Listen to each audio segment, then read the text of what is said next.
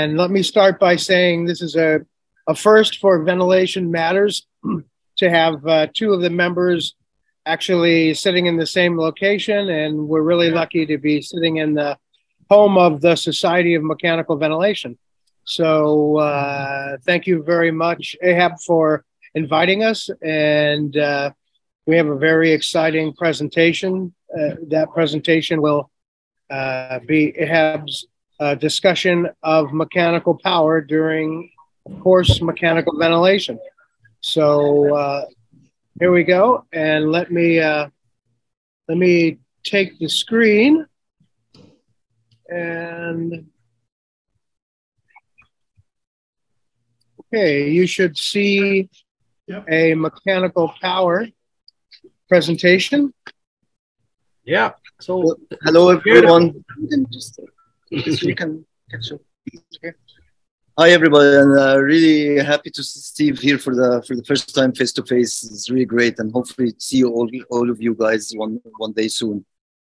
Um, I'm gonna jump into this uh, presentation. It's just basically some work we did about mechanical power, um, and the reason is I still think mechanical power is new, uh, still misunderstood, and um, I'm going to go into an introduction of a couple of studies that we did, and then we can have some discussion. And I have something new. Uh, it's not published yet, uh, so I would caution you like it's uh, it's peer reviewed already, but it's not published. So we'll talk about a couple of studies we did. They're all bench studies uh, comparing uh, mechanical power in AVM2, adaptive ventilator mode 2, with the conventional modes, volume control and PRVC in a normal lung uh, simulator. Then the same study repeated again in an ARDS model uh, with three severities. Uh, we'll talk about it. And another one, which I thought was pretty cool, is like comparing mechanical power in independent lung ventilation.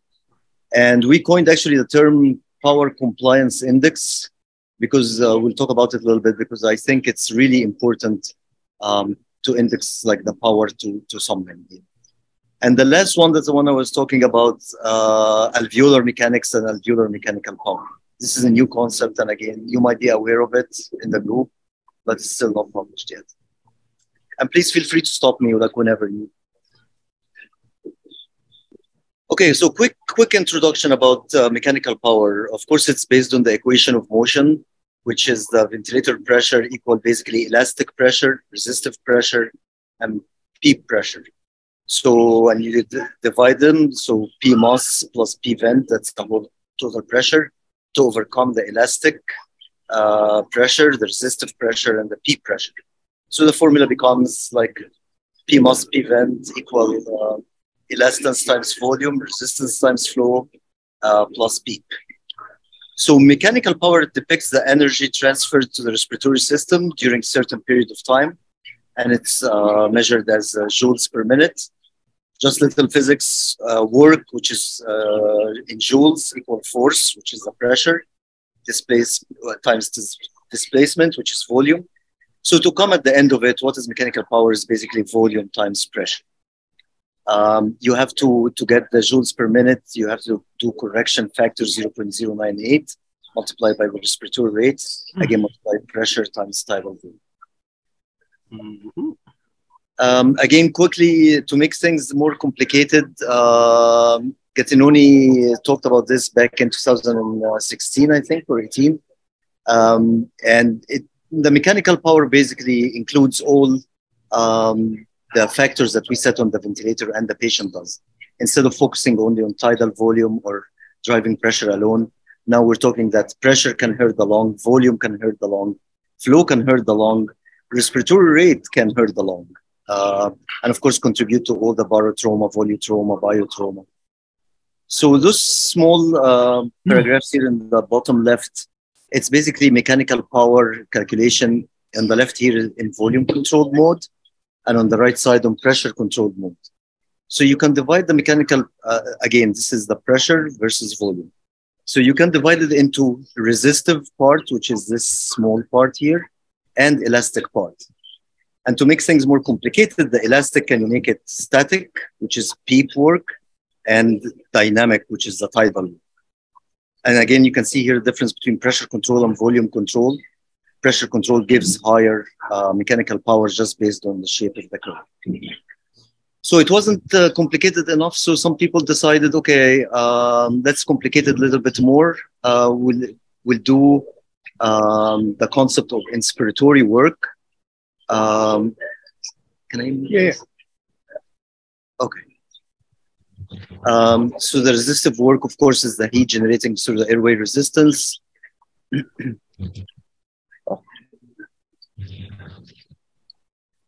we were not going to see them if somebody is like sticking their tongue. Uh, elastic work is the work need to expand both the lung and the chest wall. So it's that area under the blue curve here. That's the elastic work. And PEEP work again, which is the static. Uh, the work against the PEEP. Uh, PEEP is totally war- is energy gen- uh, stored there. And then inspiratory work is the sum of the tidal work and the resistive work. So now let's take the tidal work of the elastic part and the resistive part. And this will come important when we talk about AVM.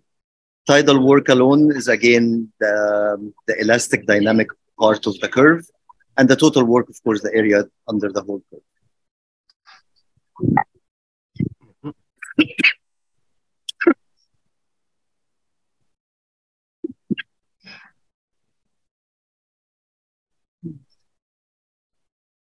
Sorry. Go ahead. Um, those again, there is multiple uh, multiple calculations. Um, the, the best way, the gold standard to measure the mechanical power or the work is basically to measure the area under the curve here of the volume pressure curve. and it's basically, again, the integral of the volume versus the pressure.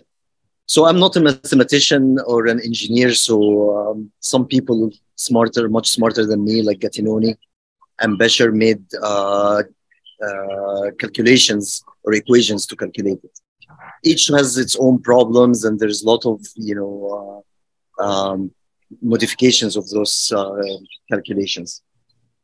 Basically, as simple as we said, it's the volume multiply the pressure and those are the components of the pressures the elastic static which is the tidal the uh, sorry the PEEP pressure the elastic dynamic and the resistive so volume times pressure times respiratory rate times the conversion factor Oh. Yeah. okay um, to be honest with you if i even use the equations to calculate the mechanical power every time the patient's respiratory rate changes, of course, the number will change. Every time the patient starts working, the number will change. Uh, if you change the volume, the pressure. So it's practically impossible every time you change or do something to keep calculating the mechanical power. So finally, there is a software. This is the Bella Vista, and there is a software. Um, it's not uh, FDA approved in the US yet. Um, uh, thanks to Graham, he was able to uh, to help me get this software. So we don't use it on patients, but on the simulator, and it basically calculates for you breath by breath. This is the uh, tidal power. There's inspiratory power and the total power. Otherwise, if I do study, like I cannot like just keep calculating. It will be very cumbersome. So that's a cool part about it. All right, we'll jump into our first study, and I know there will be a lot of tables and figures. You know, I'm gonna cruise through them. Um, this is the first study that we did comparison of mechanical power between AVM2 versus conventional modes like volume control in a normal lung model. um, and basically, what we found that mechanical power uh, in AVM2 was uh, was less, even comparing the AVM2 to low tidal volume. So I'll, I'll show you how did we um, construct the study. Sorry. So it's a bench study in a passive uh, single compartment um, uh, model. The compliance was set at 50 and resistance at 10. And that's kind of like little, maybe a little bit uh, in the lower normal range on the ventilator. And we picked three modes, the AVM2, pressure regulated volume control. So I can uh, control the tidal volume and the volume control mode. And what we did is we set both the PRVC and the volume control mode at the low tidal volume, six milliliter per kg. And uh, we set the respiratory rate to compare uh, to get basically to compare 100% uh, minute ventilation uh, on the AVM and 150%. So the model was at 70 kilogram person, so 100% minute ventilation would be seven liters, and like here, and um, 150 would be 10.5 liters per minute. Of course, we had to change the, the rate and the, the respiratory rate and the PRVC and volume control to get the equivalent minute ventilation. We wanted to be like basically uh, fair for, bo- for both modes. So we did the experiments again, as I said, one was seven liters, one was 10 and a half liters, and with two different PEEP levels, one at five and one at 10. So we called them experiment A, B, and one A, B, and two. So we did basically four uh, experiments. Quickly, the results here, you can see it. A AVM2 is the blue one, uh, volume control is the orange, and PRVC is the green one. Um, so this is the one with uh, seven liters per minute. You could notice that the AVM supplies uh, gives the low mechanical power. This is PEEP five, PEEP 10. Uh, here with the 10.5 liters per minute, same thing. Um, basically, AVM gave us the least mechanical power in both of them. Of course, we can argue that the if you look in the next, sorry. Oh, sorry. Yeah, just the, I don't know, switched halfway so those are the are the results here. Like um, quickly, this is the tidal volume um, in in AVM with 100 percent was 6.4. Um, the driving pressure. If you notice here, basically that the tidal volume was equivalent to the low tidal volume that we set on the volume control and pressure control, 6.1. The driving pressure was less than the volume than the driving pressure in both volume control and pressure control, uh, PRVC.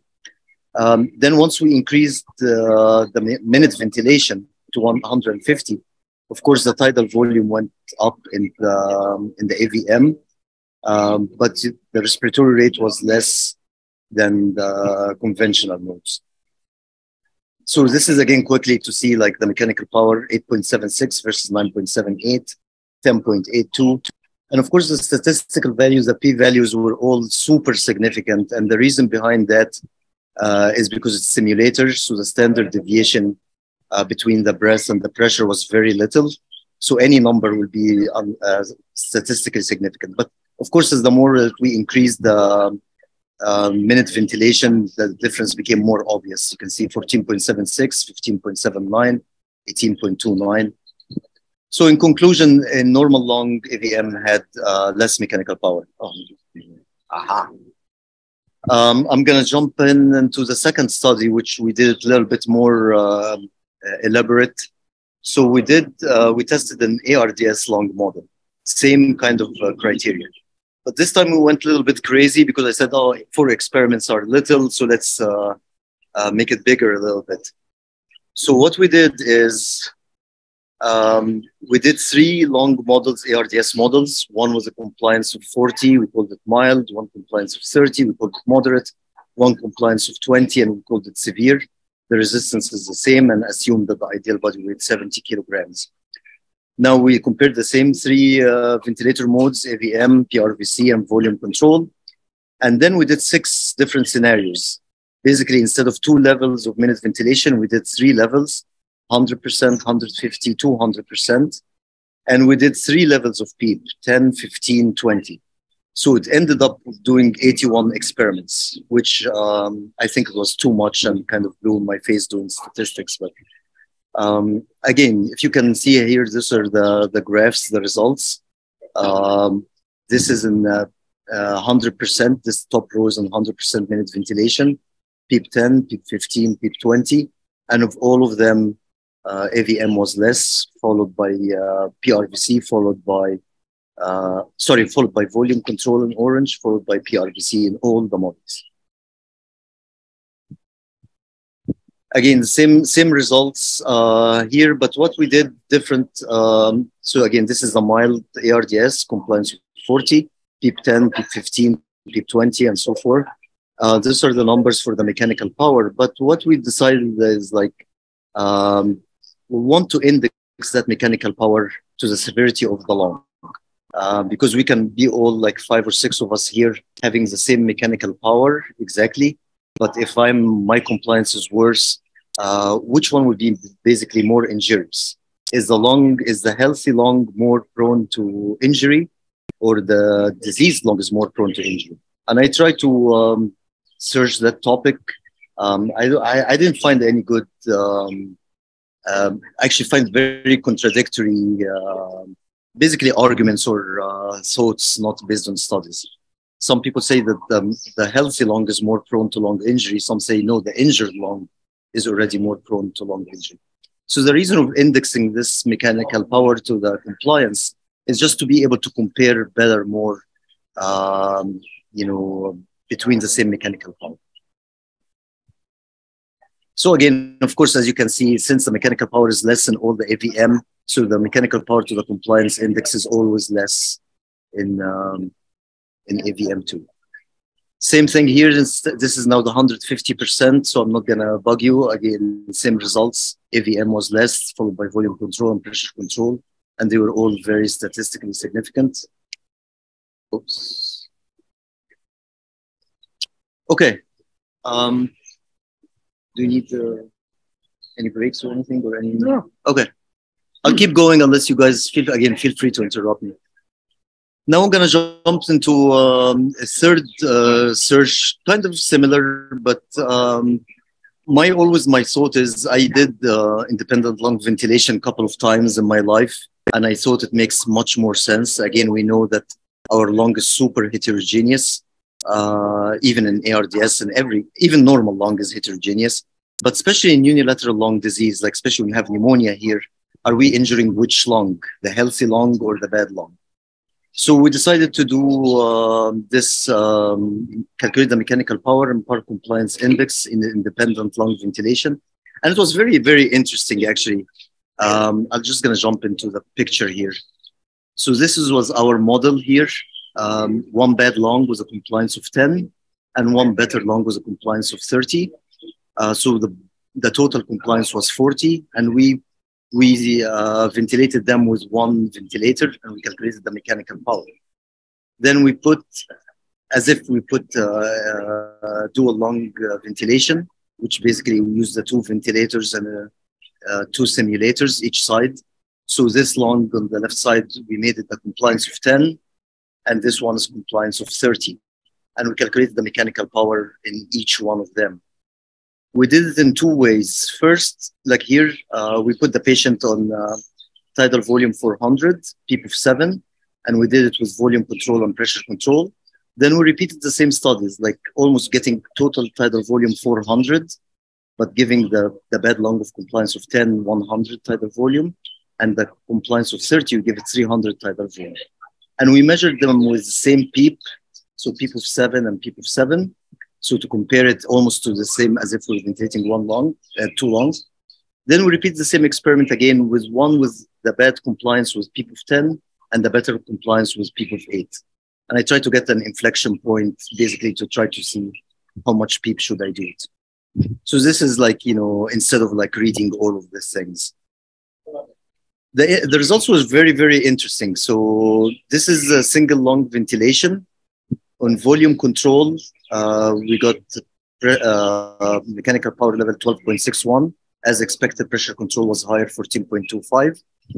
Then when we repeated uh, with both lungs, the same tidal volume, in the independent lung ventilation with the same PEEP of 7, it, the mechanical power on both lungs were, was less than ventilating both lungs with one ventilator and this was like actually uh, unexpected for me because I thought somehow they were going to be at least equal, but they, it was it was less.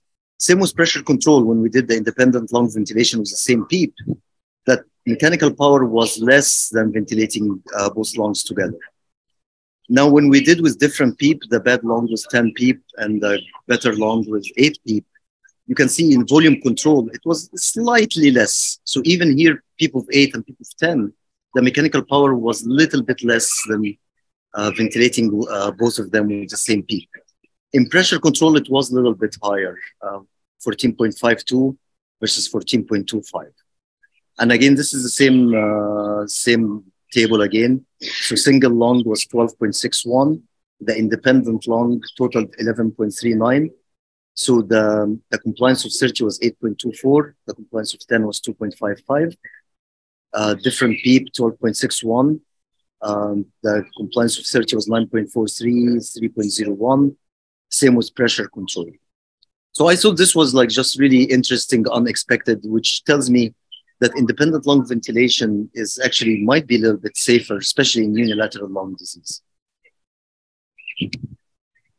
Uh, I'm not gonna bore you again. This is uh, I did this um, the indexing again, mechanical power uh, versus the compliance index, and again they were uh, they were less in the independent lung ventilation. Um, same here. This was the other one was in volume control. This was in pressure control. So again, uh, we're comparing them against each other. Um, and again, they were significantly different in the independent lung ventilation. Okay, now uh, this is like I, I feel at least to me this is the coolest part. Um, I will need the, all your input in this one. I know we discussed it a little bit, uh, but basically the idea of we always measure uh, respiratory mechanics as uh, um, compliance, resistance, auto PEEP, um, all within the respiratory system uh, with the peak and plateau pressure and all the stuff, all the volume pressure curve. Um, but always becomes the part is like, okay, like, you know, uh, the compliance of the old respiratory system. We know that the chest wall compliance adds to the problem. You know, now is the resistance really important uh, in injury of the lung? A lot of unanswered questions again, you know. Um, so some people talk about transpulmonary um, mechanics or transpulmonary the, with an esophageal balloon. Here's the esophageal pressure, and this is a transpulmonary pressure. Now you can divide the respiratory mechanics into lung uh, mechanics and chest wall mechanics. And most of the time, we don't really worry about the chest wall mechanics. We assume it doesn't change, you know. But of course, in obesity or um, stiff wall or whatever. Um, the other problem is also like, can we hurt the chest walls? And in my head, my brain, I don't think we can hurt, cause injury to the chest wall, uh, to the ribs, and like maybe to, to the diaphragm somehow. Um, but anyway, so those are just like the equations that we measure um, the total respiratory mechanics, and of course, it will be volume over pressure, airway pressure minus uh, PEEP. The resistance, of course, peak minus plateau over flow. Now the chest wall compliance will be tidal volume over the end inspiratory esophageal pressure minus end expiratory esophageal pressure. Uh, and it's usually like very linear. The chest wall resistance is very, very minimal and it's almost non-existent. So I, we always ignore it. Then what really, what I think we're more interested in is the lung compliance because the lung is the usually the one that we injure. So the transpulmonary uh, pressure to measure the lung compliance, it will be uh, tidal volume, uh, expiratory tidal volume over end inspiratory uh, transpulmonary pressure. Here, sorry, end inspiratory transpulmonary pressure uh, minus the end expiratory pleural pressure. So here, so basically we're talking about the transpulmonary driving pressure. Um, and the lung resistance, of course, will be um, the peak um, uh, transpulmonary pressure minus the end inspiratory transpulmonary pressure over the flow. So we, we all know this, those are all documented and known, but came to also what bothers me is we know that the dead space is significant in even a normal lung. We assume it's like, you know, what, one third take a give uh, of the uh, of the tidal volume. So why are we worried about, why are we measuring the whole tidal volume? Because this dead space um, volume is basically just sitting in our conducting airway, uh, you know, stuff. So it doesn't really distend the functional lung units, which is the alveoli. So the thought was, why don't we just measure the alveolar tidal volume and uh, over uh, over the transalveolar pressure and that will give us the alveolar compliance. It sounded simple to me, but and I just really not sure. And again, I would like to hear your feedback. why was it never ever mentioned in the literature? And I tried to do some search. Nobody me- talks about alveolar compliance. Everybody talks about alveolar tidal volume and the dead space, uh, but there is no mention about alveolar mechanics per se. So what we did is, um, of course, you all know this. This is the volumetric capnometry and the three phases, one, two, and three. Um, this is the CO2 versus, sorry, this is the CO2 versus the volume. So according to the curve here, um, this is the, the anatomical dead space, and this is the whole alveolar tidal volume. If you plot in phase two, this uh, line between uh, called AB, A and B, and a line between C and D that divides this area into Q and P. Um, anyway, not to make it like too much uh, complicated, but basically you can divide again uh, anatomical dead space and tidal volume dead space. And I wanted to make sure that we're including the, the volume that is in the alveoli, but it's considered alveolar dead space. Because we know that uh, there is volume in the alveoli that might not be uh, perfused. So there's a VQ mismatch is very big. Um, but again, it's volume that is tending the alveoli. So we wanted to include it. So basically, we're taking this whole tidal volume here, and that will be our alveolar uh, tidal volume. And of course, again, you all know that um, there's so many mentions and different descriptions of uh, dead space. Um, so people again will uh, divide it into the physiologic dead space, which will be the anatomical plus the alveolar. And of course, the total tidal volume is the anatomical plus the alveolar. And the alveolar, again, you can divide it into this VE, uh, so basically effective alveolar tidal volume, which is uh, basically perfused and uh, participates in this um, ventilation, and the dead space the, of the alveolar tidal volume. Oops. You never know. Yeah. I'm getting used to it. So basically, this before we jump into this, because I made this, um, we also wanted. Okay, we were able to talk about how we're gonna get the compliance, the alveolar compliance, but then how are we gonna get the alveolar resistance? And again, it's never mentioned. Never, nobody talks about alveolar resistance, assuming that alveolar resistance is also very minimal, and most of the resistance happens in the, our uh, large airways. Um, maybe the part that goes into the alveoli is resistance from the viscoelastic flow and uh, turbulent flow.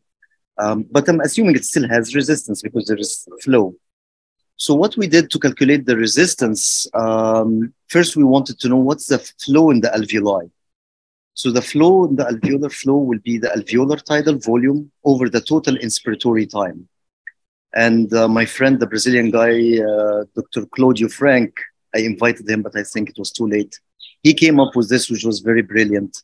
Um, so basically, if we divide the flow over time, that's volume, I'm sorry, equal, um, um, oh my God, flow equal tidal volume over time.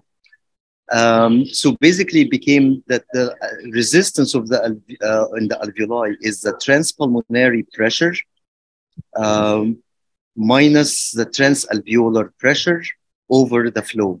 And in the next slide, I will show you how did we get this. And sometimes there's a big confusion about what's the difference between transpulmonary pressure and transalveolar pressure.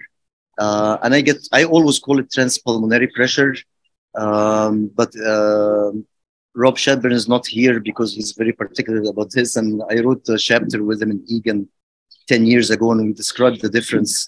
But basically, transpulmonary pressure is defined as the airway pressure minus the pleural pressure versus transalveolar pressure, it's the alveolar pressure, which is like uh, the plateau pressure, minus the pleural pressure. Um, this here is like a regular compli- uh, volume pressure curve of the lung itself, because we use the transpulmonary pressure, versus the volume, which is the volume is in the black. But when I did, we removed the, the dead space, the anatomical dead space from the uh, uh total tidal volume, we get the alveolar tidal volume. So basically, the concept is because since we're using the same transpulmonary pressure, but we're using different tidal volume, we can calculate the alveolar compliance according to a regular volume pressure curve. Um, Okay, this will maybe will make it a little bit easier. This is a graph I got. Volume controlled square waveform, continuous flow, of 15, peak 28, plateau 25. Uh, the flow is 20. This is the esophageal pressure. So during uh, the end exhalation is 14. Uh, during the peak pressure is, it's not much different, but 16. And during the plateau pressure is 14. So what we did, the alveolar compliance would be, sorry, and I put two, okay, good. And I put here, like, uh, this is a patient was getting, I think, 300 tidal, 360 tidal volume. So this is the alveolar tidal volume 214, and the dead space was uh, the rest, uh, which will be, uh, man, I can't even see from, from the picture that I put. Uh, the well, I think I think that well, it will be like 112, I think. So the total was 300, 360 minus 214. So the dead space was like about 140, which uh, comes to like dead space over total volume is 40%. So basically, we took these numbers and the alveolar tidal volume, which is 215, and now we can calculate the compliance. So the compliance will be 214 over um, over 8, which is basically uh, the delta delta pressure. So uh, it comes to 26.7 pressure, uh, 26.75 milliliter centimeter water. Again, according to the last slide, we calculate the alveolar flow, which will be, now we have to make it in liters. So the 214 becomes 0.214, the inspiratory time 1.2. So the flow was 17, which pretty close to the inspiratory flow, which was 20 here. According to this, we made the resi- calculate the resistance. So it would be the 12 minus the 11 over the flow. So comes as resistance as 3.36. I think if you calculate the regular resistance from the peak minus plateau, it was like nine. Then we said, okay, let's take it a step further. Since now we know the compliance or the elastance of the alveoli, let's put them into the equation and calculate the alveolar uh, mechanical power. So we used Gattinoni's uh, formula. Um, basically, of course, uh, 0.098 times respiratory rate, tidal volume times 2. Um, alve- sorry, alveolar tidal volume times 2 plus half the elastance of the alveoli, which will be 1 over the 26, which comes to like 37, plus the alveolar tidal volume of peak. So basically, what we got here is that the total um, uh, alveolar mechanical power is 16.34. Um, and again, this is like the same equation here. When we calculate the mechanical power for the whole respiratory system, um, again, this is Gattinoni's equation. We use uh, the elastance of the whole respiratory system. If we want to calculate for the lung, the transpulmonary pressure, so we use the elastance of the lung. So now we call this alveolar or transalveolar mechanical power. We use the elastance of the um, of the alveoli. So, what are the implications for this? People might say, okay, you just like uh, some more equations and more. I thought we we ought to like if we really believe in the concept of strain and stress and mechanical power, maybe we just need to get the, to the areas that most likely to be injured, which is which are the alveoli. So if we use this um, equations or deemed to be like really reasonable, correct, we can again calculate the alveolar mechanical power. We can calculate the alveolar stress, alveolar strain, and alveolar resistance. Again, understanding that our still our lungs are um, not homogeneous. So of course, each part of the lung or each alveoli has its own compliance and resistance, and subject to a different stress and strain. Um, the problem with this uh, kind of our calculations um, is two things. First, we have to have an esophageal balloon to measure the transalveolar pressure. Um, uh, we know from studies that less than 1% uh, of clinicians use the, the, um, the, esophageal balloon, which is unfortunately, I, I feel it's kind of shame. Um, and we have to have used volumetric capnometry, uh, which is again not used in every place. I think capnometry in general been standard of care, but people use just the time capnometry, like saying 34, 35. Mm-hmm. But we, I, I try to find what's like if there is how many people use or the, use volumetric capnometry, but I couldn't find it. even in the last guidelines by the AARC saying, uh, suggest to use volumetric capnometry, which I mean, the amount of information that we get from all this esophageal balloon and volumetric capnometry are great. So I try to use them both. Um, of course, a lot of respiratory therapists hate me for it because it's too much work and we have to calibrate. And, um, but um, I guess that's it. And um, sorry if I took too much time. Not at all.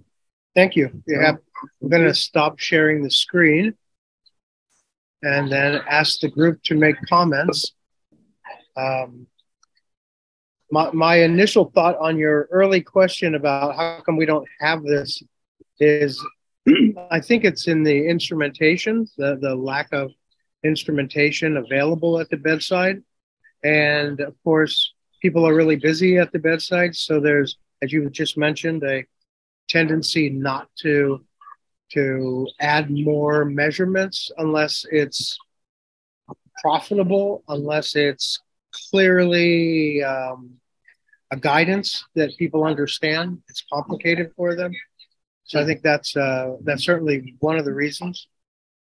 Uh, anyone else want to make some comments? Patrick, you look like you want to say something.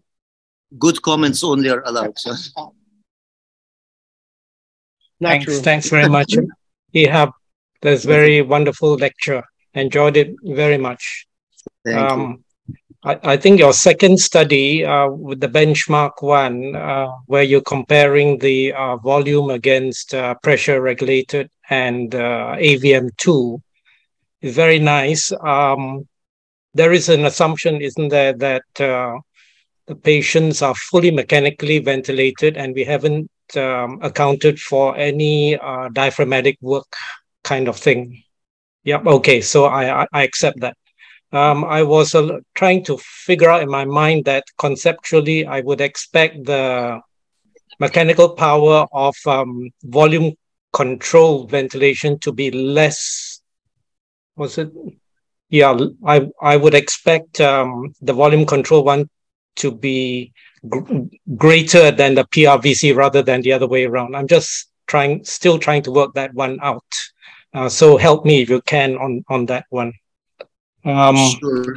And and of and uh, getting the uh, um, mechanical power on uh, the alveolar uh, mechanical power is is uh, clearly where we need to have very good understanding and uh, and allowing for the fact that there is heterogeneity um, maybe there could be a way in which we can do a, a mapping of um, no, no. First of all, we, we look at uh, what is the range of the best and the worst um, alveolar mechanical compliance using this equation, uh, and then map it to the um, uh, alveolar heterogeneity as seen radio radiologically, uh, so that we have an idea how many percentage of your lung is at the worst level of alveolar mechanical power and how many percentage of the lung radiographically is at the better level of alveolar mechanical power. Maybe that could be done in the future. Thanks very much. Yeah. Well, thank you, Patrick. Thank you. Um, you know, let's do the the easy question, which is the the mechanical power uh, between volume control and pressure control. Um, actually i read one study before and they were talking i can't remember the name of the but they said that the pre, uh, the mechanical power in pressure control will be less. And me as a lover of more like pressure control modes and not volume control modes i was like i believe that but then if you look um, um, i don't have the, the slides anymore if you look at the uh, the volume pressure curve that uh, i showed and uh, um, if you look at the shape, again, as we said, it's uh, the mechanical power, basically volume times pressure. So this is in, uh, in a volume control with the constant flow. This is the airway pressure. So the shape of the, you know, of the volume pressure curve comes like this, um, smaller than the, the shape of pressure control. So if you look at the area of like the, even if you use the same tidal volume, same uh, inspiratory time, same uh, pressure, um, just by the shape of the pressure control waveform, the resistive part is more uh, pronounced in the pressure control mode, even with the same resistance. and that's why made some people look like okay maybe we should just remove the the resistance from the equation totally because there's some arguments especially with marini saying is like do we really care about the resistive power? Like you know this is just air uh, pressure or work to you know just overcome the resistance which makes sense to be honest with you. But uh, i don't know the answer. I don't think anybody knows the answer. Uh, but if you look at the tidal and the peak pressure, they're almost the same. Uh, matter of fact, in that study that we did, we calculated all, I mean, not we calculated, we got all the numbers from the tidal power, the inspiratory power uh, in, the, in the data. Uh, but I didn't do the analysis because it was already like 81 experiments. It was already so confusing. So maybe I'll add them in the next, uh, the next one. Uh, do, do a study, basically compare the, which one mostly what i'm interested in honestly is the tidal power i think the peep is always the same it's static uh, although it can of course different peep power can make difference in lung injury but i think it's the more the air going in and out that maybe uh, injures the lung. Again i don't know the answer for this. Um, and the problem is also like really what i caution is and i try to talk is like mechanical power still kind of new despite being six five six years. We still don't know much about it. And i don't i, I hope we don't get uh, led like what happened in the tidal volume 6 liter per kg. So everybody now like if we're targeting mechanical power below 15 we're good you know because uh, different it, the components have different weights to it you know so respiratory rate makes a big big difference in mechanical power uh, so if you're in a rate of 10 versus rate of 20 whatever volume you basically double the mechanical power um, the tidal volume and the driving pressure actually does not have the same weight as the respiratory rate. So that's why again I was trying to do the indexing. So so we're not again into six milliliter driving pressure, but uh, uh, tidal volume, 15 of driving pressure, um, below 15 of mechanical power and stuff like that. The second part of your question, Patrick, of course, I don't know how to do this. Uh, you have a good idea about like the, um, the heterogeneity and which part are like so more collapsed and stuff like that. Uh, of course, we have actually Steve. Maybe you can uh, talk about this with your new device. yeah, I mean, I, I think that um, that we have a ventilator that's applying a constant force, generally speaking, not talking about adaptive ventilation.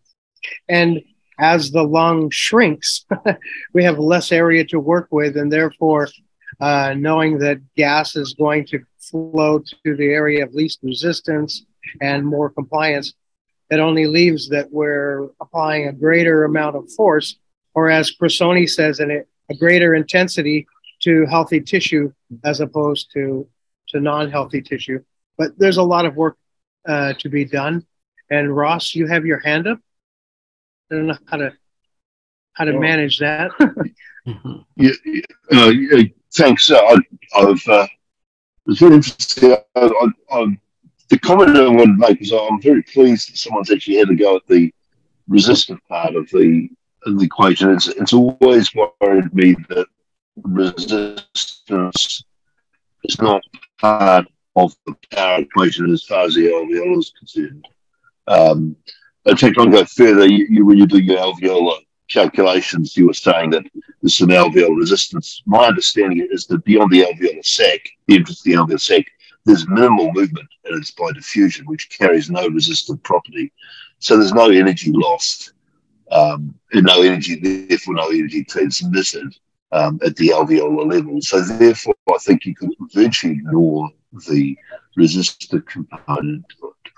Um, and your last comment about the uh, or the second last comment about the resistance um, and increasing the rate. And there's a double whammy, of course, because as if you're looking at power and you increase the rate, you, penal, you penalise on power by the increased rate.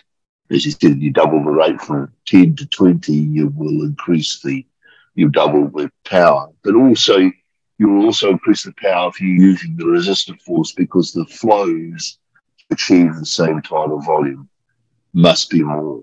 Um, the, the flows will be higher, the pressures will be higher.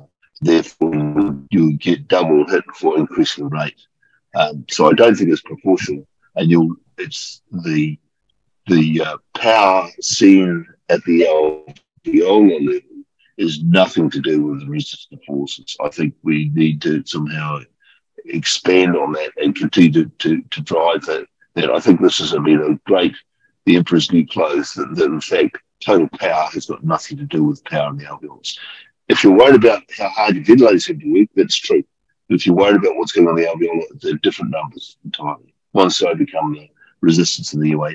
I've never seen a patient with ARDS of the trachea or the bronchus. So, um, it was a fantastic presentation, but I, I would further remove any idea of alveolar uh, resistive component being part of it. Sir, Ross, can you say that last part? Uh, I, I couldn't hear you. I, I, I'd remove, I'd remove any um, resistive component in the descri- description of power in the alveolus. I don't the resistance within the alveolar itself is an important component. The flow is not turbulent because it's so so flow in all, and most of the movement is by diffusion, which has no resistance component. So um, I, I, don't think there's any resistance and therefore any drop of resistant power um, in the alveolar sac itself. So almost an intra alveolar resistance isn't in a sense existing because gas is occurring through right. diffusion at that yeah. point. But perhaps the measurement still exists because it's we don't have just a giant alveoli without yeah. conducting airways, as small as they may be, or connecting. Yeah. And, and, again, that's why like my assumption was it's like you know it's just gas resistance, like you know uh, viscoelastic resistance more than there is more than the resistance that we understand that like air going in tube in and out. Which yeah, is, I agree. There, there may there may be some some some problems, but I don't I don't think it's, it's going to be less than think, less than you know we calculate. So. so I'm curious about uh, about AVM two. I, I uh, have looked at AVM, and maybe uh, I think we have uh, a Graham here. What are the the what's the new elements of AVM two that potentially impact that uh, or make it different from traditional modes or even AVM one, Graham? Well, thanks, Steve. I was also I had another question, but now you've thrown it to me. But I'll, I'll, I'll have a go at doing this. So, um, with you know, if you if you think about it, just go back a step. You've got PRVC, right, which is um, or volume support. And so, in a way, what, what you have done with going from those more basic modes into you what we're doing with AVM is automating those into like you know you're automating the adaptive component of those older those type modes. So um, ASV was is the same as AVM, but they both use the Otis equation to um, minimal worker breathing to select an optimal breathing pattern. And um, you know, it's it's uh, pretty much tested on, on, probably normal lungs and so on. It works quite well, gives you know quite safe tidal volumes, um, safe rates. But also too, it's a, it's a negative feedback system, right? Um, so that means the ventilator is always trying to give a tidal volume the lowest possible pressure. That's the way it works. So it's, it's a negative feedback system. And the problem is, in, in some patients, of course, if you want six mils per kilogram as a number, it's probably the wrong mode for you because um, it, it, it's, it's not targeting a tidal volume, right? It's you, because you're the one setting a minute volume you set the minute volume and you let the ventilator try to determine tidal volume rate, I time is what it tries to do. And it's got lots of rules inside to do that. So it works pretty well. You can say 80 to 90% of all patients, it works very well. Um, the trouble is, though, in those low compliant lungs, we, if you want lower tidal volumes, maybe the tidal volumes are too high. So what happened was, um, I think in IMT, they developed uh, AVM2 using the um, mechanical power equation. And this was done uh, really with with one of the engineers in, in um, IMT, a guy called Matthias van der Spy, who's a very smart guy who understands this, these equations very, very well. And he's picked up many faults in other algorithms, which I won't say who they are, what they are, but he's, he's picked them up very well. And so then I can remember one time we were, he and I went to see, and um, went to see uh, Luciano Gattinoni and discussing with him about the mechanical power. And he picked up an error in what he thought Luciano was talking about. So um, anyway, so that we what we've really done is we've autom- we automated mechanical power into an adaptive ventilation concept. And so the idea is, you know, um, different uh, different breathing patterns and so on. Now, when, when we first developed it, if you're still there, Ross, and I can see you playing with your ear, but we you did some test cases of, in the early stage with AVM2 to try and compare that in ARDS patients. And the, the idea really was lower tidal volumes or less energy being applied to the lung at a higher rate. Because the problem with, for example, the um, AVM or ASV was the IE ratio. That you couldn't get one to one IE ratio so much. You might get one to one to two IE ratio, where normally clinically you want to increase the frequency. In some patients and have maybe 18 breaths per minute, not 14 breaths per minute. And so AV, AVM2 actually covers that. It goes down to like one to one IE ratio. So all these little, things of um, optimizing the breath delivery is what AVM2 really does. Hmm. And you know, Graham, if I can add to this, as you said, uh, the algorithm targets um, the inspiratory power, as you said. The other good thing about it, it takes into account the dead space too. Uh, one of the algorithms, even either whether if you can measure it or it, uh, if you hmm. can't, assumes 2.2 yeah. liter per dead space, which is which is good. And what I didn't actually, I kind of skipped through through the study. The more the stiffer the lung uh, got from like 40 to 30 to 20, the tidal volume actually went down to 5.2 in the severe ARDS with AVM, which I thought is important. Again, I'm not a big believer of certain tidal volume, I said, but people, I don't think you're going to erase ever the six milliliter per kg from their brain. That's right. You know, so when they see like something, oh, this is even less, so it might be more correct. So, well, that, that's right. That's right. Yeah, because what you, you know, in your study, you know, I was going to pick that up, um, was if you have a fixed tidal volume to say six mils per kilogram, those magic one numbers, and you're increasing PEEP, right? You're increasing PEEP, and your compliance is low. Well, well, I mean, heck, this is you, you aren't creating lung lung protective ventilation, are you? And how many people would start hauling back the tidal volume say four mils per kilogram to, tr- to try and reduce the power, right?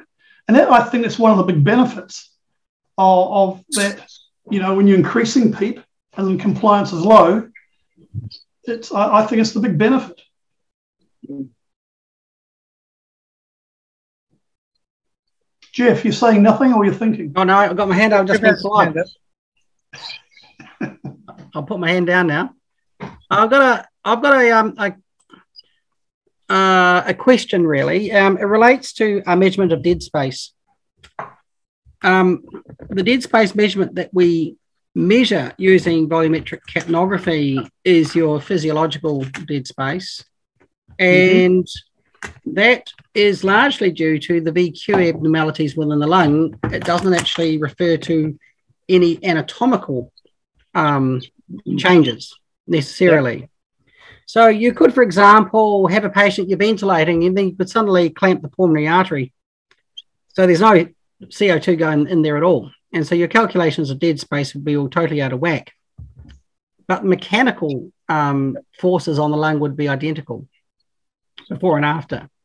So I think I, am just wondering if there's a flaw in the logic that if you're going to calculate alveolar mechanics using volumetric capnography, your inference is that your alveolar um, capnography is going to inform you about the anatomical uh, dead space or, about the available lung, you, the inference is that what is alveolar is the bit that's participating in gas exchange, the bit that's there somehow rather some injury occurring to. But I actually don't think that's the case at all. I, I, I think that the anatomical dead space is, as you know, is, is not going to change. The physiological dead space is entirely due to changes in VQ, and it's completely dissociated from the mechanical changes. So uh, that's why I, I, therefore I have problems with using volumetric capnography to infer alveolar mechanics by just saying, well, this is anatomical dead space. It's got it's it's X, and therefore we're now only referring to Y degree of alveolar ventilation, and therefore we should um, uh, focus on that as being where the damage has been done. It's equally likely, in fact, perhaps even more likely, that you're going to be damaging alveoli that are high, very poorly perfused, which are actually part of the dead space, but you're not actually um, measuring injury to. You could imagine that you could have grossly distended alveoli um, that are uh, injured by the ventilation strategy that have very, very poor perfusion, for example. So I think I think we I think the concept is is highly original. However, I am concerned that the the relationship between what happens anatomically and mechanically um, and what we're seeing with volumetric capnography are two different things. Yeah, I think that raises well a couple of things I want to comment on. I, I think what you're saying too is kind of the reason why many of us don't use uh, volumetric capnography at the bedside because when you need it the most, it seems to have its greatest error. Uh, and, and, and so um, that's one of the old adages. But it also raises the question of, again, the use of trace gas and the potential. And, you know, I mean, I, full disclosure, I am uh, I'm a fan of uh, of, of uh, applying a trace gas and using that to measure the physiologic dead space or the total dead space, as well as seeing the effective lung volume and the effective perfusion. Uh, because the only thing that's going to take that trace gas total amount away is that which escapes in the earth to ground analogy or the, the pulling of that solubility into the bloodstream. And, um, and, and, and that would give us maybe the right uh, numerators in some of those equations, uh, having a effective alveolar volume that's not necessarily tied to capnography, but is hmm. uh, related to um, measuring, you know, the size of lung. And I guess even EIT could could be a source of, of uh, gross volume, or at least a better source of alveolar volume as well. So uh it seems to me like if we use the ventilator, um, we need to understand that it has limitations in its measurements. Uh, and we need to understand where those sensors and measuring elements are within the ventilator to generate this data. And that's why something like a capnography device or an external monitoring device that's independent from the ventilator uh, is a good source of, of information about the patient. And again, I say also perhaps EIT is a good source. But at the end of the day, I think we still are looking for specificity in our application, and um, and we're still far away from, yeah. from from that. Could I just add a, a couple of other things? I, I've always sort of been slightly skeptical of the um, mechanical power because of how it is constructed. And um, Ehab, you've actually talked about this in your presentation. Um, you know what? You know the fact that PEEP is doesn't contribute to the cyclical changes. It's just there. It's static.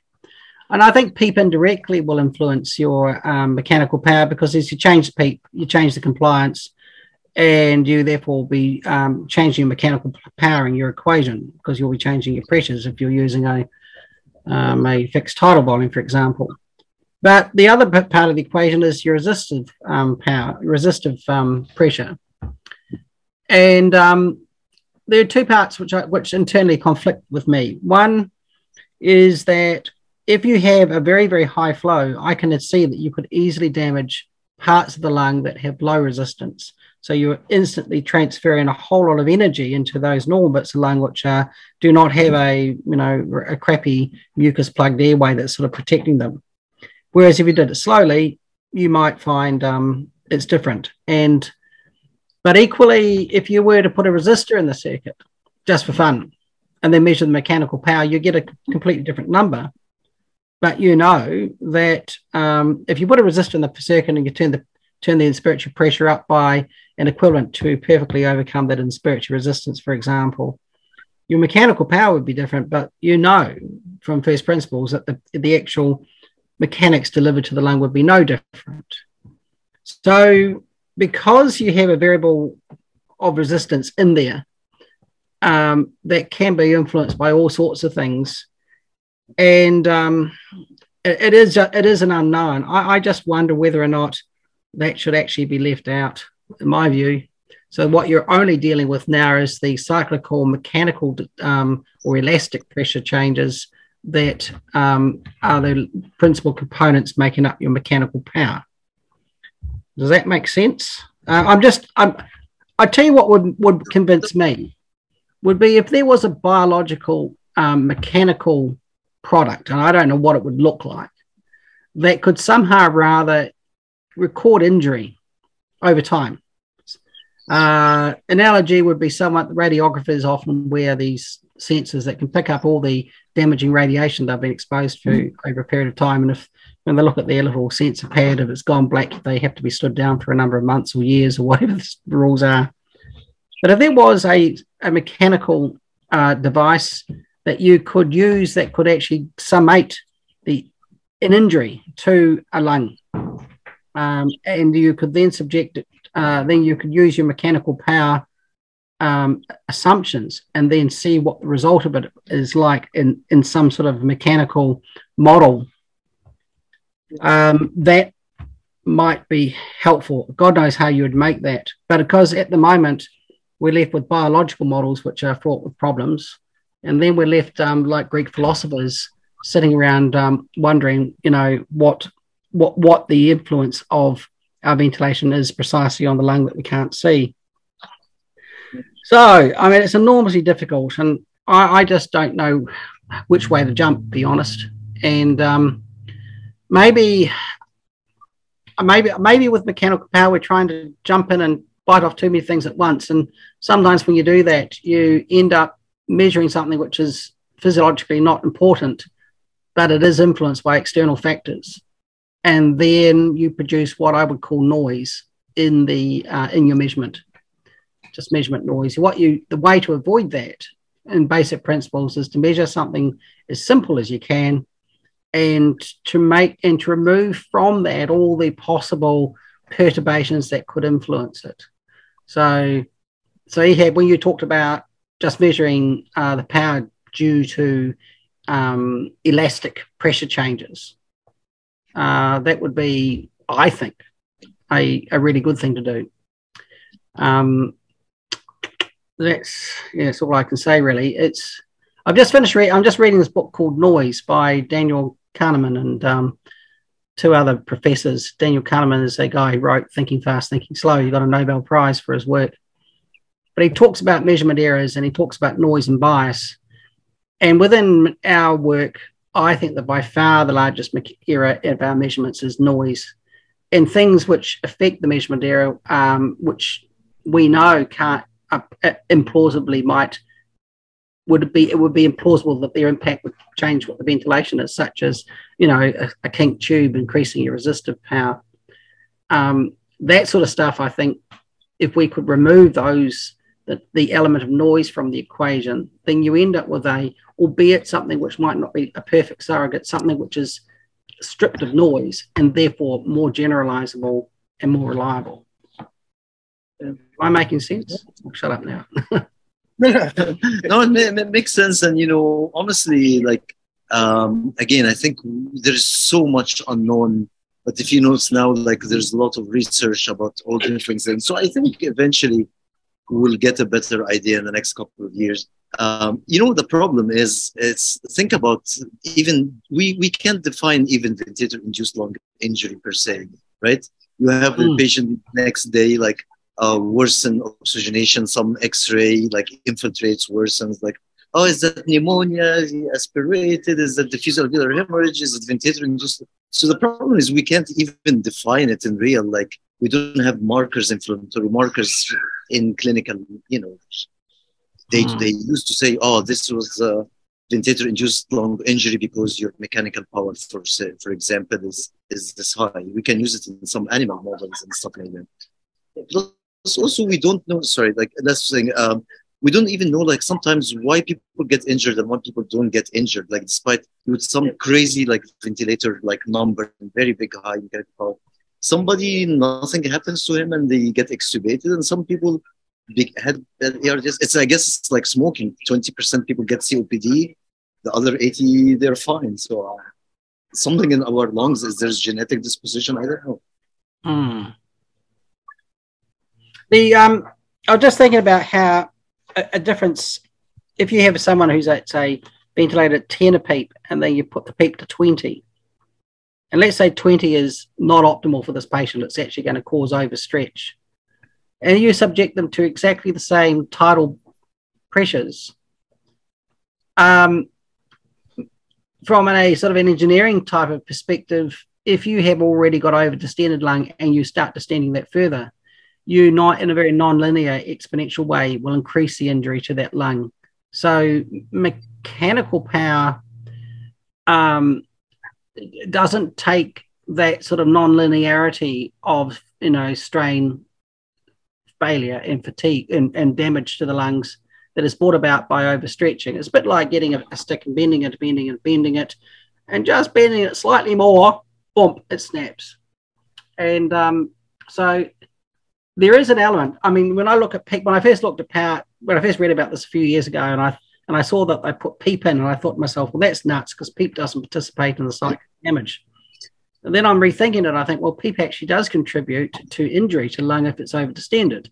If it's over distended and you cycle patients, you know, through a respiratory uh, um, cycles, then you will be causing more more injury in a very non-linear way to that lung than you would if you had less PEEP. So I think this is where it all gets really it gets fudged completely. Is that I think we are we are measuring one thing and it's and it's actually a, a confounder of of of something that we do that influences something differently somewhere else. So PEEP, I think, indirectly damages lungs in lungs in patients who are not optimized, have got too high level PEEP. And I think we've seen that in the ART in the ART study and we've seen that in the um, in one of the oscillation studies. I can't remember which one it was. Oscillate, I think it was, where they got over too much PEEP on board and they actually killed patients. So clinical trials have shown that over distension, non-optimization of PEEP is, is injurious, and um, so therefore, if we believe power is injurious and we've got a change in PEEP, then changing PEEP clinically seems to influence the outcome but it might not be due to power. It's actually due to the fact that the that you've got this non-linear um, Yep. uh, effect in tissues which are already distended. So it's it's it's even complicated. It's so much more complicated than my brain can handle. And the more I think about, it, the more confused I become. Um, but it do, but I think we've got to keep working on this and just put all those ideas out there and try to chip away at them and probably my feeling is that we should start with something really, really, really basic. Maybe just, you know, you call it elastic power and use and, and, and focus on that and then add other bits and pieces in. Um, I, I tell you what I'll do is I'll, I'll again engage my engineering colleagues about all this. I think it almost requires a a, a little mini symposium. I, I think of just discussing from it all, you know, everybody coming in having a look at this, saying, well, you know, these are the problems I see with mechanical power because it's not measuring this; it's actually measuring something else, um, and and coming up with a more strategic way of approaching the problem uh, in a way that minimizes the noise of your error of your measurement, but whilst in doing so, it might mean that you've got less precision in what you're measuring. At least there's less variability in it. Does that make sense? Yep. No, it, it does.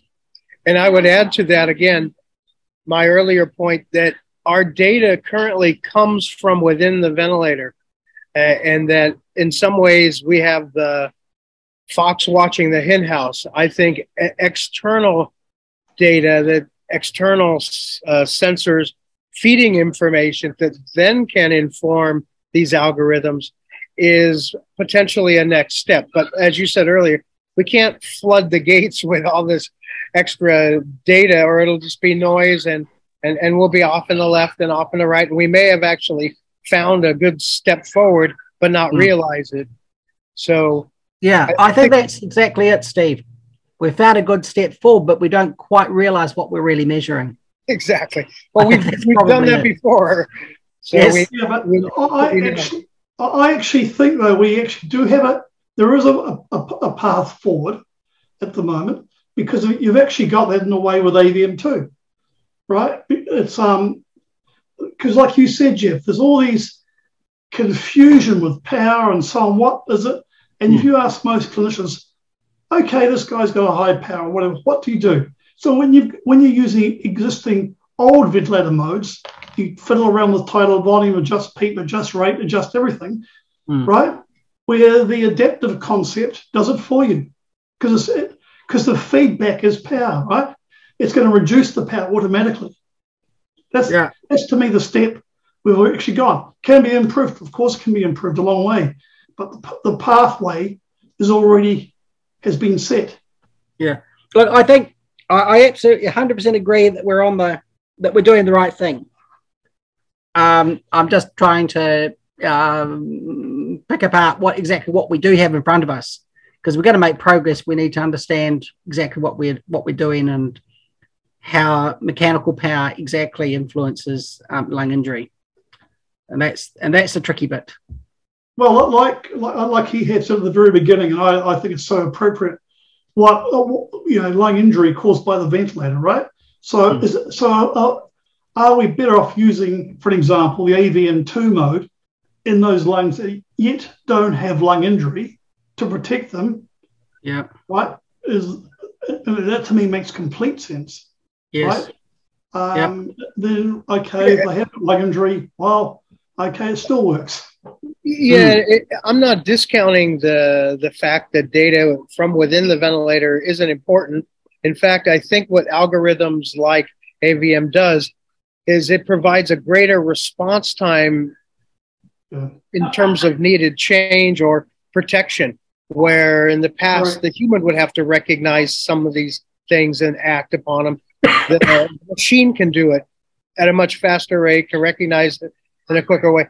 But it's still, and, and I don't mean this negatively, but it's still garbage in, garbage out. And when I hmm. peel back the onion on all of these new modes or on new methodology, I always will find at some point because our brains were hurting thinking of what we were doing with this algorithm, there's that assumption. And that assumption doesn't always apply to all of our patients. So that's, you know, as you peel back the onion, you'll find, aha, aha they made the assumption that anatomical dead space should be 2.2 or it should be one per pound or however they want to do it. Uh, and uh, at some point, um, true measurement, true specificity, I think is the answer. And yeah, a machine making a faster response within a governing para- set of parameters that the clinicians have agreed to and set. And I think, you know, I'm looking for that. And, and I think we're looking at the potential, of seeing that in oxygen control in mechanical ventilation in the near future. Uh, and, um, it, you know, Steve, just on that, just on oxygen control, there was a, a very interesting paper presented by um, uh, at the ESICM meeting. It was the last session about um, titrating oxygen to 90 to 94% versus uh, 98 to 100% in first responders to out of hospital cardiac arrests. Oh, yeah, I and, saw that article. Yeah. And, you know, it seems that targeting too low increases injury. Um, and that's presumably due to a whole lot of desaturations that they get. So maybe oxygen control, uh, you know, we've got to have rapid responses that um, flick up O2 when we get desaturations for whatever reason, which humans are not going to do very well at. equally, we need to turn it down when it gets too high. And, and I know many of us have been wanting it for the neonatal population and Yeah. for the COPD population for obviously different reasons. But uh, Yeah. maybe sometimes this stuff doesn't apply to all the patients either. Maybe maybe some patients are better left alone. Yeah.